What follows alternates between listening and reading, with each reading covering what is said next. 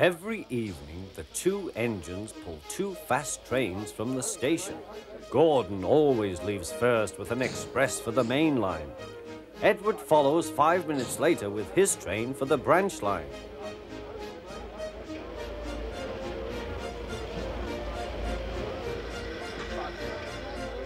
Usually everything runs like clockwork. But tonight there was trouble. A lady in a green floppy hat was saying goodbye to a friend. It was nearly time for Gordon to start. The fireman looked back towards the guard's van and saw something green waving. Right away, mate. He thought the guard had waved his flag. Gordon started, leaving luggage, his passengers, and the guard all standing on the platform. Everyone was very surprised and cross.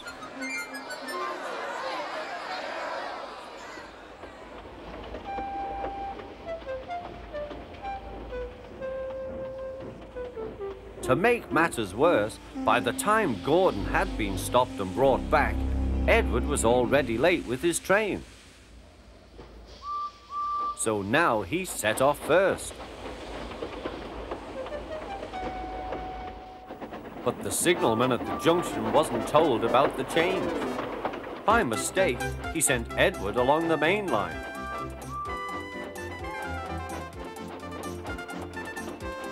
Gordon was sent along the branch and arrived cold and cross on one of the sidings near the harbour.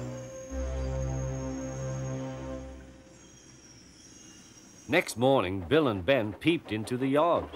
There were no trucks for them, but they didn't mind that. Teasing Gordon would be much better fun. What's that? asked Bill. Shh, whispered Ben. It's Gordon. It looks like Gordon, but it can't be. Gordon never comes on the branch lines. He thinks them vulgar.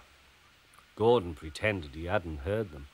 If it isn't Gordon, said Ben, it's just a pile of old iron, which we'd better take to the scrapyard. No, Bill, this lot's useless for scrap. We'll take it to the harbour and dump it in the sea. Gordon was alarmed. I am Gordon. Stop, stop! When BoCo suddenly arrived, Gordon thought him the most beautiful sight he had ever seen. BoCo, my dear engine, save me! BoCo quickly sized up the situation and threatened to take away the trucks he had brought for Bill and Ben. This made the twins behave at once. Gordon thought he was wonderful. Bill and Ben were delighted to see the visitors. They loved being photographed. Later, they took the party to the China Clay Works in a break van special. Everyone had a splendid time, and the visitors were most impressed.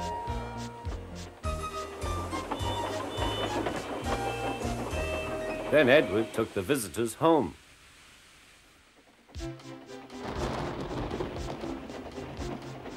On the way, the weather changed. Wind and rain buffeted Edward. His sanding gear failed, and his fireman rode in front, dropping sand on the rails by hand. Suddenly, Edward's wheels slipped fiercely. With a shrieking crack, something broke. The crew inspected the damage. Repairs took some time. One of your crank pins broke, Edward, said his driver. We've taken your side rods off. Now you're like an old-fashioned engine. Can you get these people home? They must start back tonight. I'll try, sir, promised Edward. Edward puffed and pulled his hardest, but his wheels kept slipping and he could not start the heavy train. The passengers were anxious. Driver, fireman, and guard went along the train, making adjustments between the coaches. We've loosened the couplings, Edward. Now you can pick your coaches up one by one, just as you do with trucks. That will be much easier, said Edward. Come on, he puffed, and moved cautiously forward. The first coach moving helped to start the second, and the second helped the third.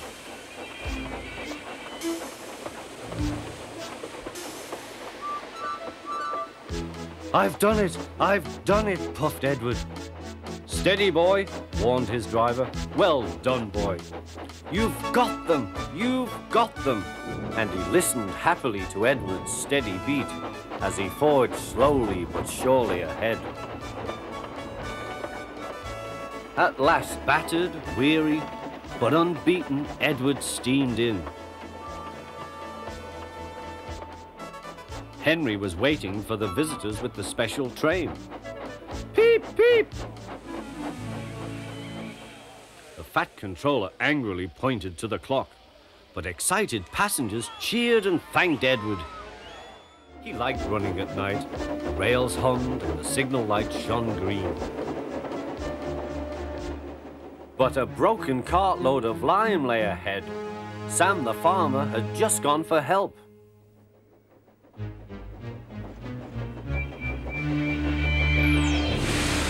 Percy broke the car to smithereens. Lime flew everywhere. He puffed quickly to the nearest signal box. Percy's driver explained what had happened. I'll see to it, said the signalman. But you'd better clean Percy, or people will think he's a ghost. Percy chuckled. Do let's pretend I'm a ghost and scare Thomas.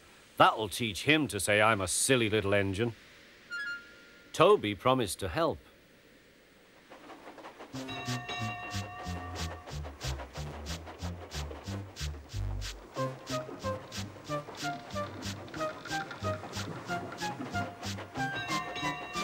Thomas was being oiled up for his evening train. Percy's had an accident, cried Toby. Poor engine, said Thomas. Botheration! That means I'll be late.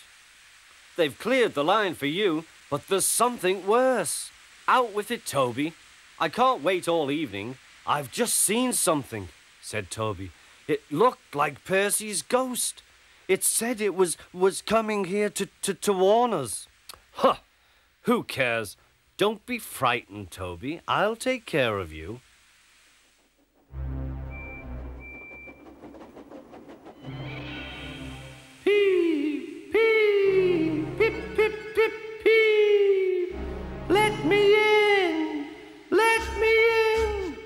Percy.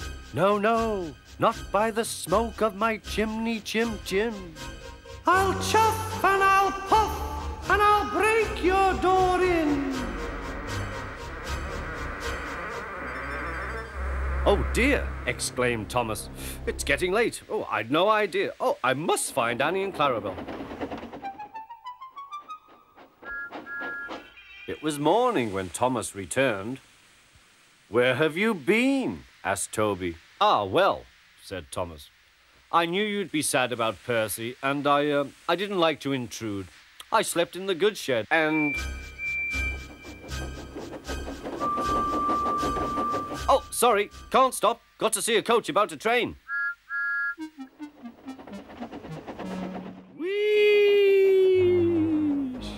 Percy gave a ghostly whistle. Don't be frightened, Thomas, he laughed. It's only me.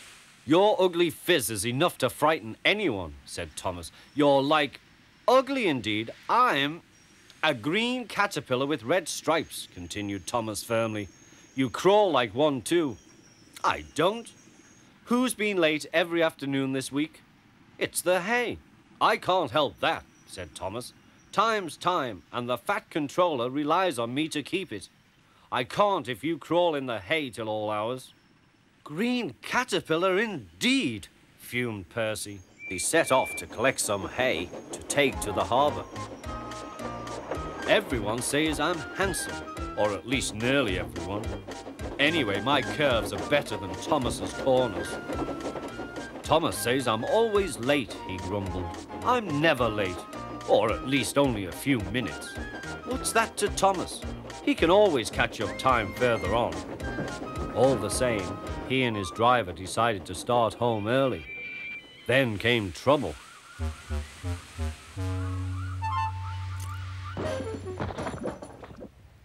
A crate of treacle was upset all over Percy. Percy was cross. He was still sticky when he puffed away. The wind was blowing fiercely. Look at that! exclaimed the driver. The wind caught the piled hay, tossing it up and over the track. The lion climbed here. Take a run at it, Percy, his driver advised.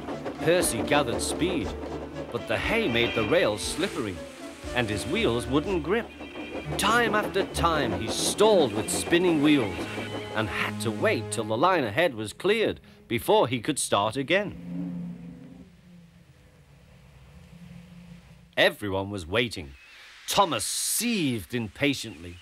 Ten minutes late. I warned him. Passengers'll complain and the fat controller.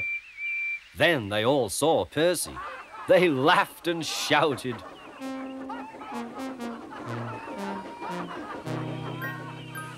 Sorry I'm late, Percy panted. Look what's crawled out of the hay, teased Thomas. What's wrong? asked Percy. Talk about hairy caterpillars, puffed Thomas. It's worth being late to have seen you. Thomas collected the tree safely, but large snowdrifts lay ahead. I mustn't be late, he thought. The fat controller is relying on me. Whistling bravely, Thomas tried to move, but he couldn't. There was worse to come. Poor Thomas was snowed under. Meanwhile, the other engines waited and waited. They were grumbling about Thomas for being late. Silence, said the Fat Controller. Thomas left the works safely, but snow has brought the telephone lines down. We must assume he is stranded. The engines now felt sorry for Thomas, and cold but confident, the twins set off to the rescue.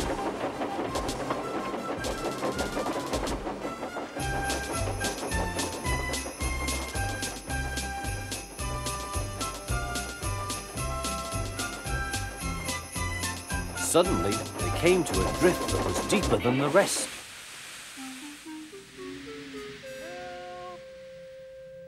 Hush! said Donald. I can hear something. Probably the wind, said Douglas. Help! No, listen, insisted Donald. Over here. Look, it's Thomas. Come on, the poor wee engine must be frozen to the frames in there. When the workmen arrived, it took some time to decide how to dig away the heavy drifts of snow. Thomas's driver and fireman who had taken shelter at a nearby cottage, joined the rescue. At last, Thomas and the precious Christmas tree were freed from the snowdrift.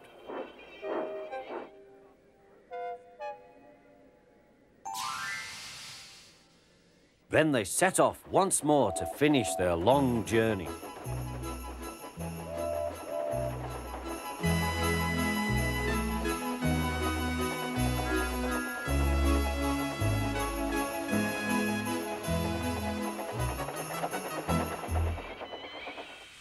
Fat Controller greeted them warmly.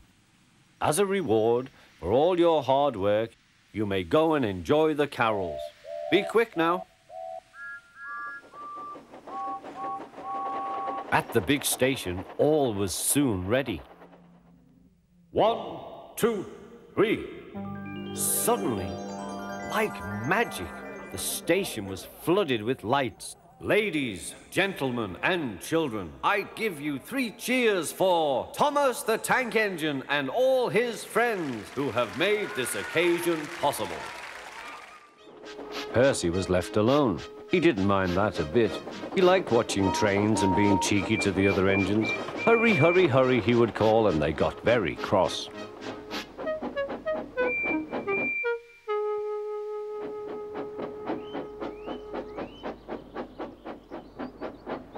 After a great deal of shunting, Percy was waiting for the signalman to set the point so that he could get back to the yard. He was eager to work, but was being rather careless and not paying attention. Edward had warned Percy, be careful on the main line, whistle to the signalman you are there. But Percy didn't remember to whistle, so the busy signalman forgot him. Percy waited and waited. The points were still against him, so he couldn't move. Then he looked along the main line. Peep! He whistled in horror, for rushing straight towards him was Gordon with the express. Oh, groaned Gordon. Get out of my way!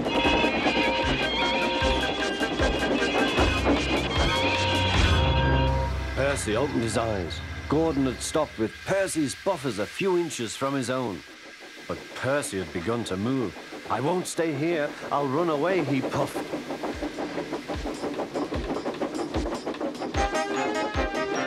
He went straight through Edward's station and was so frightened that he ran right up Gordon's hill without stopping.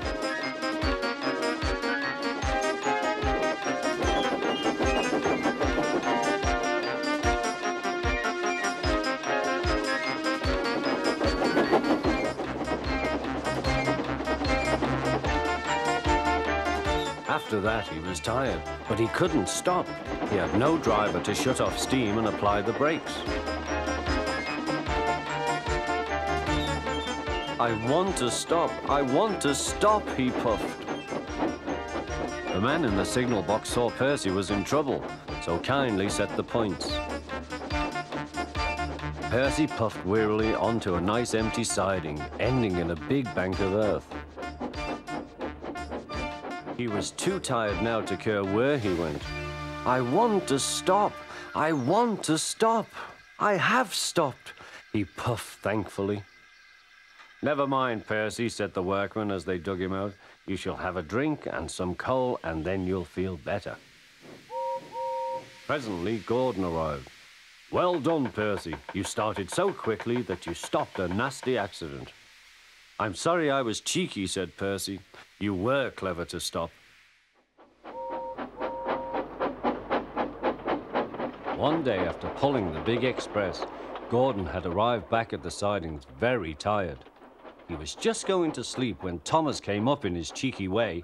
Wake up, lazy bones, do some hard work for a change. You can't catch me. And off he ran, laughing. Instead of going to sleep again, Gordon thought how he could get back at Thomas. One morning, Thomas wouldn't wake up. His driver and fireman couldn't make him start. His fire went out and there was not enough steam. It was nearly time for the express. People were waiting, but the coaches weren't ready. At last, Thomas started. Oh dear, oh dear, he yawned. He fussed into the station where Gordon was waiting. Hurry up, you, said Gordon. Hurry yourself, replied Thomas. Gordon began making his plan. Yes, said Gordon, I will. And almost before the coaches had stopped moving, Gordon reversed quickly and was coupled to the train. Get in quickly, please, he whistled. Thomas usually pushed behind the big trains to help them start, but he was always uncoupled first. This time, Gordon started so quickly they forgot to uncouple Thomas. Gordon's chance had come.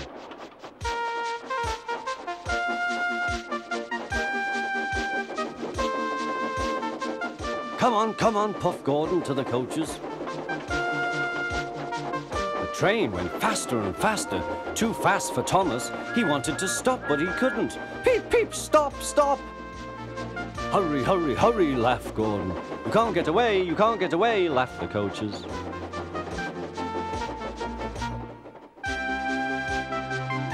Poor Thomas was going faster than he had ever gone before. He was out of breath and his wheels hurt him, but he had to go on. I shall never be the same again, he thought sadly. My wheels will be quite worn out.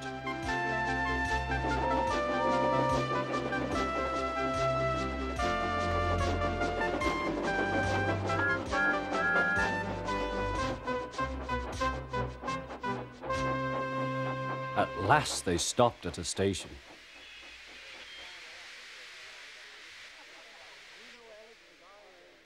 Thomas was uncoupled, and he felt very silly and exhausted.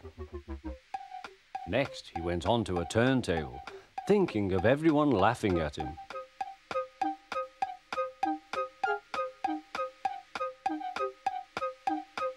And then he ran onto a siding out of the way.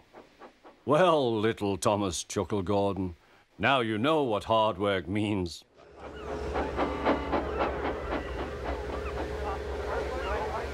Henry was ready at five o'clock. There was snow and frost. Men hustled and shouted, loading the vans with crates of fish. The last door banged, the guard showed his green lamp. The flying kipper was ready to go.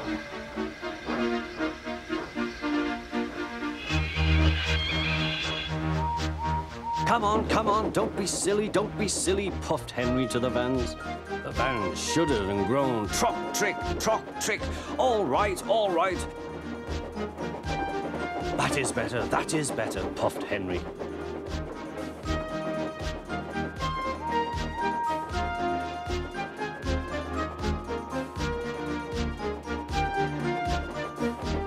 Clouds of smoke and steam poured from his funnel into the cold air, and the fire's light shone brightly. Hurry, hurry, hurry, panted Henry.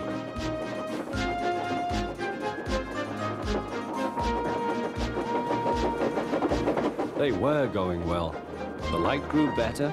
Signal light shone green as they passed. Then a yellow signal appeared ahead. Driver prepared to stop, but the home signal was down. All clear, Henry. Away we go. They couldn't know the points from the main line to a siding were frozen, and the home signal should have been set at danger, but snow had forced it down. A goods train was waiting in the siding to let the flying kipper pass, and the driver and fireman were drinking cocoa in the brake van.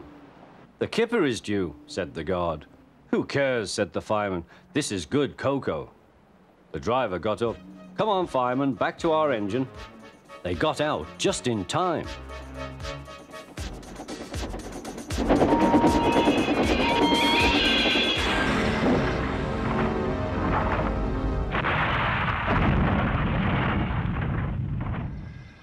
Henry's driver and fireman had jumped clear before the crash, but Henry lay dazed and surprised.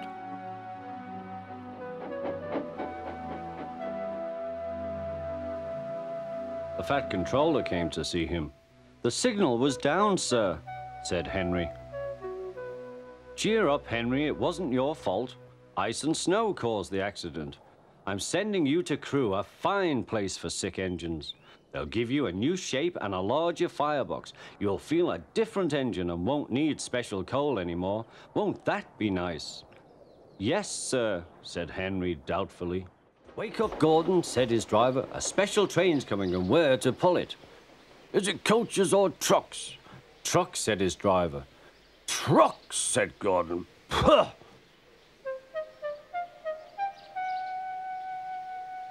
Gordon's fire was slow to start, so Edward had to push Gordon to the turntable to get him facing the right way. I won't go, I won't go, grumbled Gordon. Don't be silly, don't be silly, puffed Edward. At last Gordon was on the turntable. The movement had shaken his fire. It was now burning nicely and making steam. Gordon was cross and didn't care what he did. He waited till the table was halfway round. I'll show them, I'll show them, he hissed. Moved slowly forward to jam the table, but he couldn't stop himself and slithered into a ditch. Ooh, she hissed. Get me out! Get me out! Not a hope, said his driver and fireman. You're stuck, you silly great engine. Don't you understand that? They telephoned the Fat Controller. So Gordon didn't want to take the special train and ran into a ditch. What's that you say? The special's waiting. Tell Edward to take it, please. And Gordon? Oh, leave him where he is. We haven't time to bother with him now. On the other side of the ditch, some little boys were chattering. Coo, doesn't he look silly? They'll never get him out. They began to sing. Silly old Gordon fell in a ditch, fell in a ditch, fell in a ditch. Silly old Gordon fell in a ditch, all on a Monday morning. Gordon lay in the ditch all day. Oh dear, he thought, I shall never get out.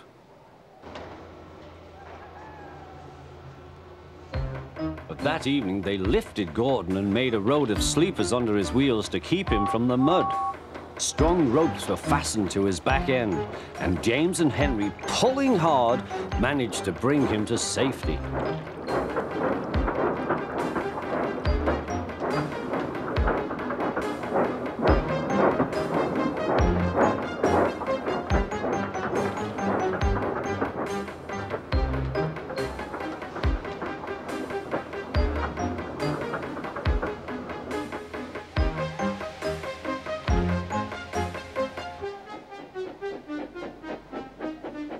Late that night, Gordon crawled home, a sadder and wiser engine. Early one morning, a large policeman was sitting close to the line. Thomas liked policemen. He had been a great friend of the constable who had just retired. Peep, peep, he whistled, good morning. Thomas expected that the new constable would be friendly too, but was sorry to see that he didn't look friendly at all. He was red in the face and very cross. Disgraceful, he spluttered. I didn't sleep a wink last night. It was so quiet, and now engines come whistling suddenly behind me. I'm sorry, sir, said Thomas. I only said good morning. A policeman pointed to Thomas. Where's your cow catcher, he asked. But I don't catch cows, sir. Don't be funny, snapped the policeman. He looked at Thomas's wheels. No side plates either, and he wrote in his notebook. Engines going on public roads must have their wheels covered and a cow catcher in front to protect people and animals from being dragged under the wheels if they stray onto the line. You haven't, so you are dangerous. Rubbish, said Thomas's driver. We've been along here hundreds of times and never had an accident. That makes it worse, the policeman answered. He wrote regular lawbreaker in his book. Thomas puffed sadly away.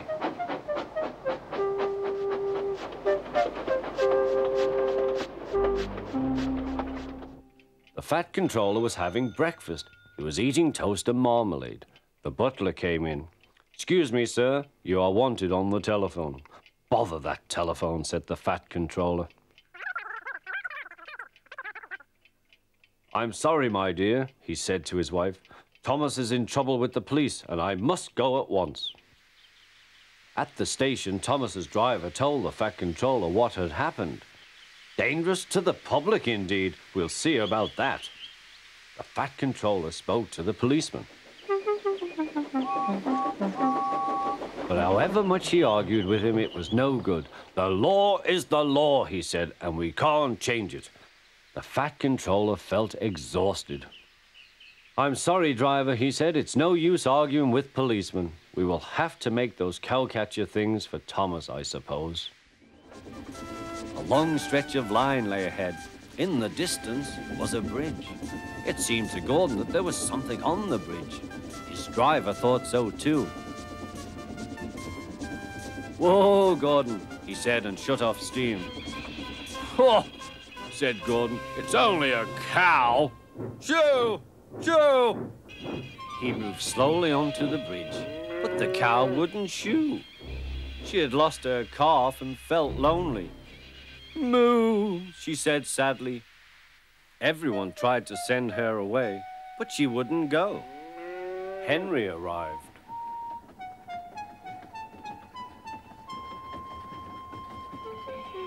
What's this? A cow? I'll soon settle her. Be off, be off. Moo, said the cow. Henry backed away nervously. I don't want to hurt her.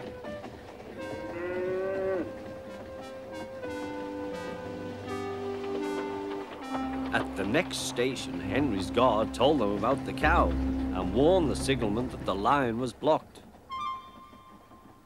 That must be Bluebell, said the porter. Her calf is here, ready to go to market. Percy will take it along.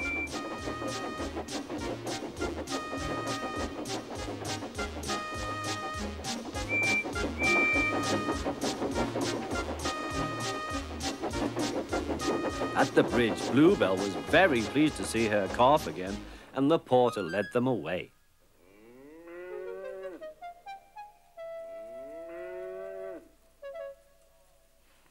Not a word. Keep it dark, whispered Gordon and Henry to each other. They felt rather silly. But the story soon spread.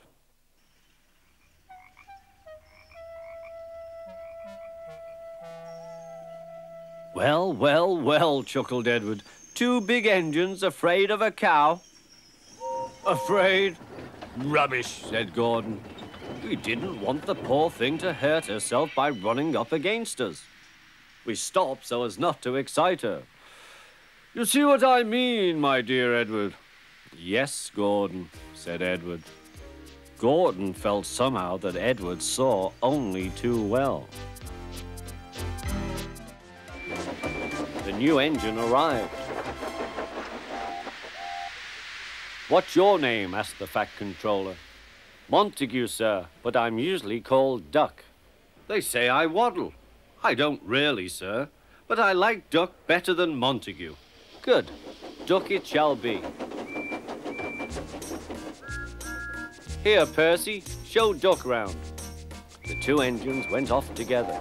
Soon they were very busy. James, Gordon, and Henry watched Duck quietly doing his work. He seems a simple sort of engine. We'll have some fun and order him about.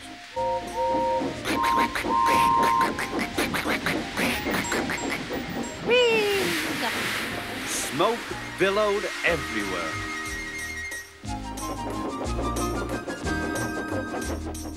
Percy was cross.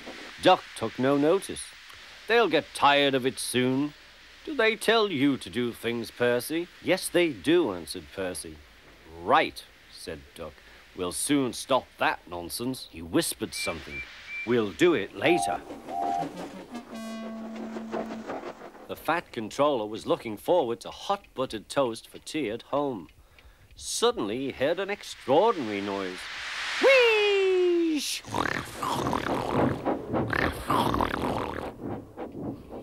Bother, he said, and hurried to the yard.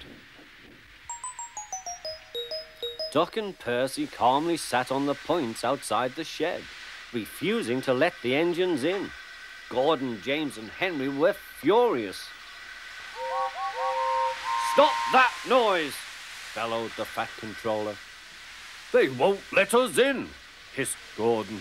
Duck, explain this behavior. Beg pardon, sir, but I'm a great Western engine. We do our work without fuss. But begging your pardon, sir, Percy and I would be glad if you would inform these um, engines that we only take orders from you. Silence! snapped the fat controller. Percy and Duck, I am pleased with your work today, but not with your behavior tonight. You have caused a disturbance. Gordon, Henry, and James sniggered. As for you, thundered the fat controller, you've been worse. You made the disturbance. Duck is quite right. This is my railway, and I give the orders. After Percy went away, Duck was left to manage alone. He did so, easily. Today, there was a surprise waiting for Edward in the yard. It was a traction engine. Hello, said Edward. You're not broken and rusty. What are you doing here? I'm Trevor. They're going to break me up next week. What a shame, said Edward. My driver says I only need some paint, polish, and oil to be as good as new. But my master says I'm old-fashioned. Edward snorted. People say I'm old-fashioned, but I don't care. The fat controller says I'm a useful engine. What work did you do? My master would send us from farm to farm. We threshed corn, hauled logs, and did lots of other work. The children loved to see us. Trevor shut his eyes, remembering. Oh, yes, I like children. Edward set off for the station. Broken up, what a shame. Broken up, what a shame. I must help Trevor, I must.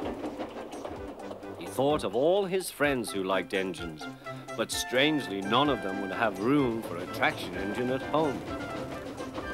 It's a shame, it's a shame, he hissed.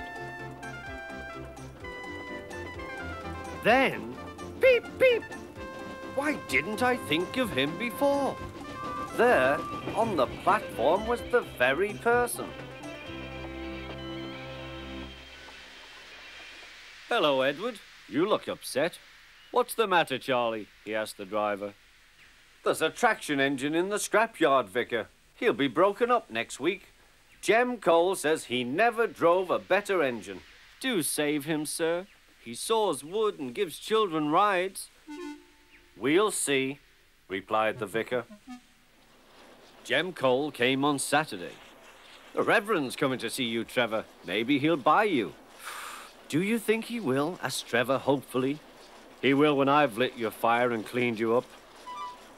The vicar and his two boys arrived that evening. Trevor hadn't felt so happy for months. He chuffered about the yard. Show your paces, Trevor, said the vicar.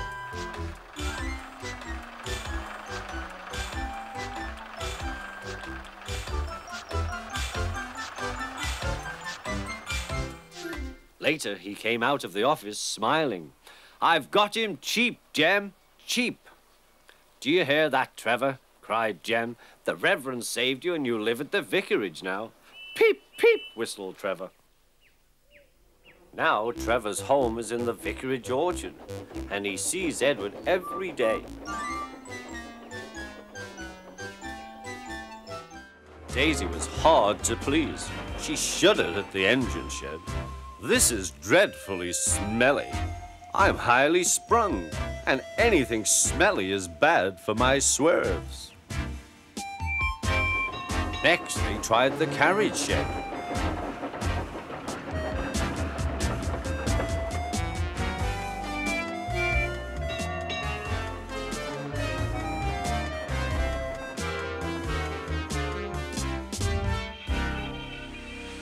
This is better, said Daisy. But whatever is that rubbish? The rubbish turned out to be Annie, Clarabel, and Henrietta, who were most offended. We won't stay here to be insulted, they fumed. Percy and Toby had to take them away and spend half the night soothing their hurt feelings.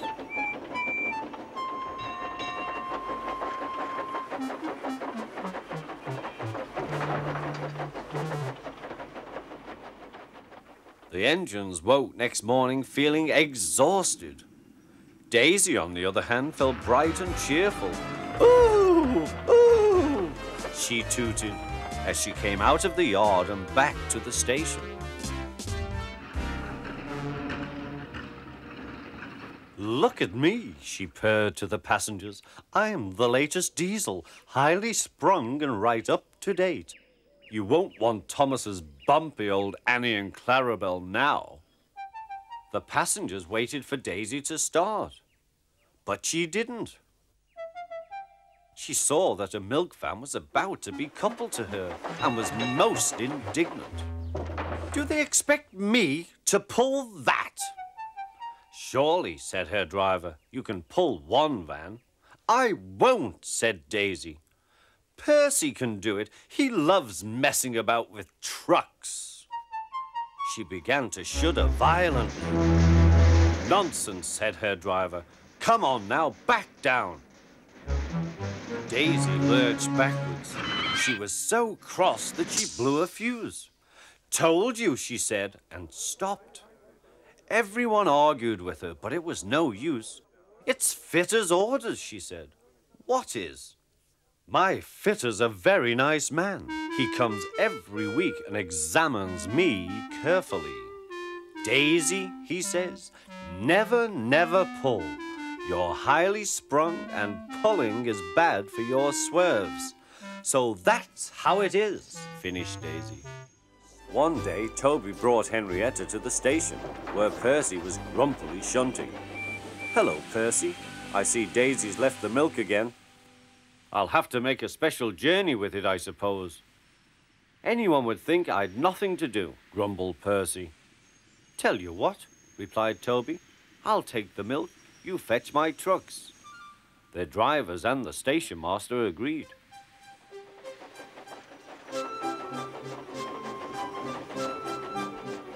Percy had never been to the quarry before. He began ordering the trucks about. Hurry along, he said. The trucks grumbled to each other. This is Toby's place.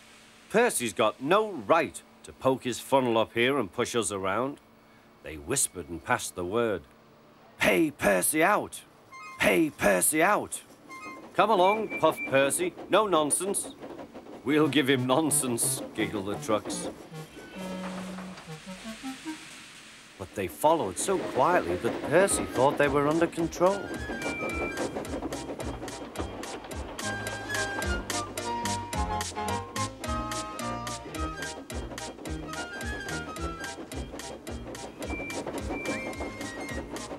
Suddenly, they saw a notice ahead. All trains stop to pin down brakes. Peep, peep, peep! Brakes, guard, please. But before he could check them, the truck surged forward. On, on, they cried. Help, help, whistled Percy. The man on duty at the crossing rushed to warn traffic with his red flag, but was too late to switch Percy to the runaway siding. Frantically trying to grip the rails, Percy slid into the yard. Peep, peep! Look out!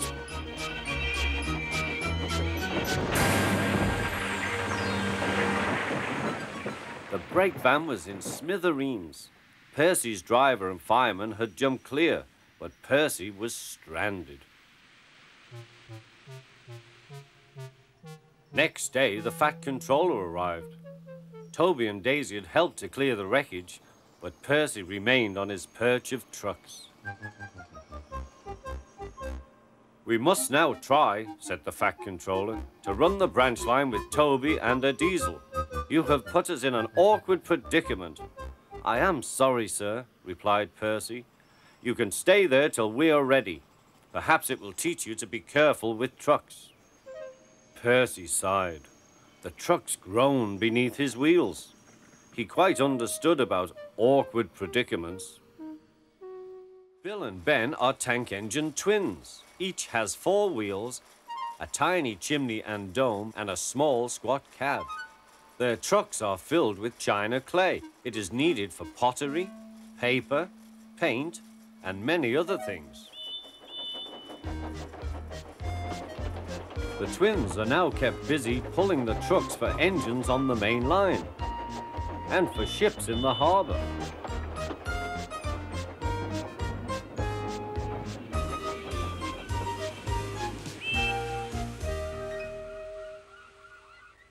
One morning, they arranged some trucks and went away for more.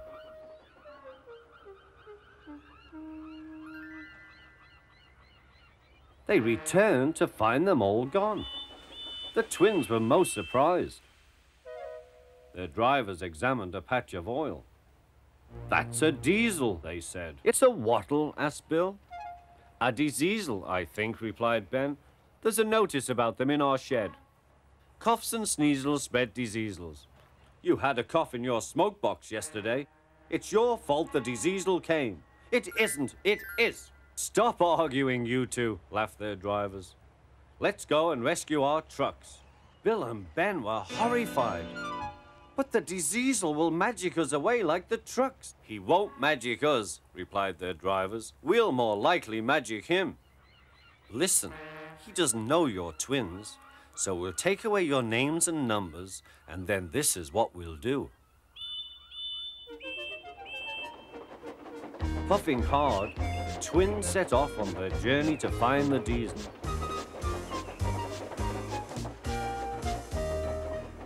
They were looking forward to playing tricks on him.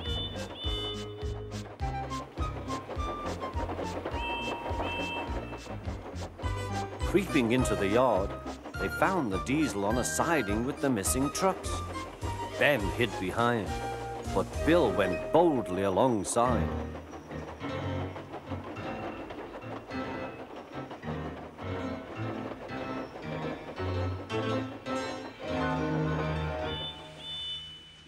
Diesel looked up. Do you mind? Yes, said Bill, I do. I want my trucks, please. These are mine, said the diesel. Go away. Bill pretended to be frightened. You're a big bully, he whimpered. You'll be sorry. He ran back and hid behind the trucks on the other side. Ben now came forward. Truck stealer, hissed Ben. He ran away too. Bill took his place.